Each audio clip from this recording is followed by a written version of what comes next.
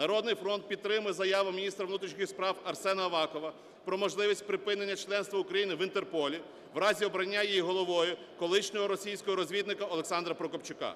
Верховна Рада жорстко відреагує на таке призначення. Ми також переконані, що під таким керівництвом Інтерпол перетвориться на організацію, яка займається переслідуванням інакодумців на замовлення диктаторських, авторитарних і тоталітарних режимів. США ЄС та країни, які поділяють принципи свободи і верховенства права, повинні бути єдині з Україною в цьому.